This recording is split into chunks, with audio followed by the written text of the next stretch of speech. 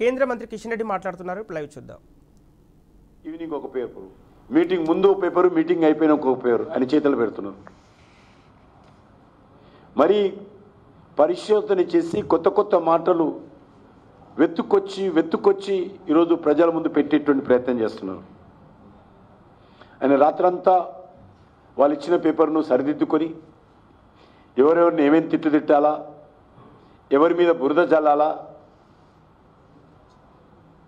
ఎవరిని నిరకాటంలో పెట్టాలా అనేటువంటి ఆలోచనే తప్ప పాజిటివ్ థాట్స్ ఈరోజు ముఖ్యమంత్రిగా రాలేదు. ఆయన ఏం చెప్పాడు మొన్న శాసనసభలో? టీఆర్ఎస్ పార్టీ కేంద్ర ప్రభుత్వంతో ఘర్షణ పడ్డది. టీఆర్ఎస్ పార్టీ కేంద్ర ప్రభుత్వంతో ఘర్షణ పడిన కారణంగా తెలంగాణకు అన్యాయం జరిగింది. తెలంగాణకు లాభం జరగాల్సి ఉండింది. కానీ నేను ఆ రకంగా చేయను. నేను తెలంగాణ అభివృద్ధి కోరుకుంటున్నాను. కాబట్టి నేను కేంద్ర ప్రభుత్వంతో సఖ్యతతో ఉంటాను. రాష్ట్రానికి రావాల్సినటువంటి అన్ని నిధులు తెచ్చుకుంటానన్నాడు. మళ్ళీ ఈరోజేమో గార్దుగుడ్డు పెట్టుకొని ఊరేగుతున్నాడు. పరస్పర విరుద్ధము. ఆయన ఏమన్నాడు మొన్న? కేంద్ర ప్రభుత్వంతో ఇస్తుంటే ఇంకేమన్నాడు? ఒక మంత్రి అయితే కేంద్ర ప్రభుత్వం పలానా ప్రాజెక్టుకి ఇస్తా అంటే నువ్వు తెచ్చుకోలేదు నీ కారణంగా తెలంగాణ నష్టపోయిందని చెప్పారు. శాసనసభలో కేంద్ర ప్రభుత్వాన్ని పొగిడారు. మరి ఎన్నికలకు ముందు వచ్చినాక ఏం రోగం వచ్చింది ఇలా అడుగుతాను ఎందుకు మాట మారుస్తున్నారు?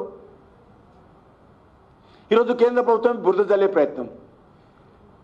బీఆర్ఎస్కు కాంగ్రెస్ పార్టీకి భారతీయ జనతా పార్టీ నేతృత్వంలోని కేంద్ర ప్రభుత్వం పట్ల రెండు ఒకటే వైఖరి అవలంబిస్తున్నాయి. స్వార్థపూరితమైనటువంటి వైఖరి వాళ్ళు ఎంతసేపు? అప్పుడు కేసీఆర్ ఏమనుకున్నాడు? మున్సిపల్ కార్పొరేషన్లో గెలవద్దు హుజూరాబాద్లో గెలవద్దు దుబ్బాకలో గెలవద్దు అని ఆ రోజు ఆయన భావించాడు. గెలవడంతో బీజేపీ మీద అనేక రకాల విమర్శలు కురిపించాడు. రేవంత్ రెడ్డి ఏమనుకుంటున్నాడు? ఇక తెలంగాణ అంతా నాదే. కేసీఆర్ ఓ నిజాం పోయాడు. నేను ఒక నిజాం కొత్త నిజాం వచ్చాను ఈయన అనుకుంటున్నాడు. కాబట్టి ఈరోజు పరిస్థితి భారతీయ జనతా పార్టీ సానుకూలమైనటువంటి వాతావరణము తెలంగాణలో అన్ని ప్రాంతాల్లో కనిపిస్తూ ఉంటే ముఖ్యమంత్రి గారు డైజెస్ట్ చేసుకునేటువంటి పరిస్థితుల్లో ఒక అభద్రతా భావంతో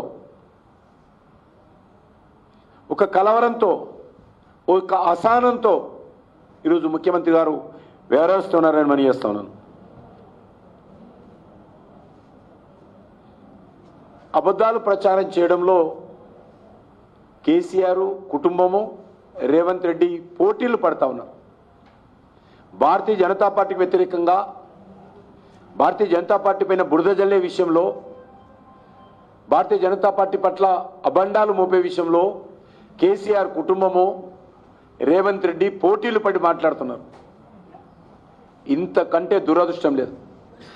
ఈ దేశ ప్రధానమంత్రి స్వయంగా వచ్చి తెలంగాణ గడ్డ మీద చాలా స్పష్టంగా నా కంఠంలో ప్రాణం ఉన్నంత వరకు రిజర్వేషన్స్ సమర్థవంతంగా అమలు చేసే విధంగా చర్యలు తీసుకుంటానని చెప్తే ఇద్దరు చెరొక రకంగా ఇంకో ఆయన అంటాడు యూటీ. టీఆర్ఎస్ ఏమో యూటీ వద్ద లేకపోతే కృష్ణానదిని ఢిల్లీ తీసుకుపోతాడు. లేకపోతే గోదావరి నదిని ఢిల్లీ తీసుకుపోతాడు. ఏమైనా అర్థం ఉందా? మీరు మాట్లాడే మాటలలో యూటీ ఎక్కడ వచ్చింది ఎక్కడ చర్చ జరిగింది?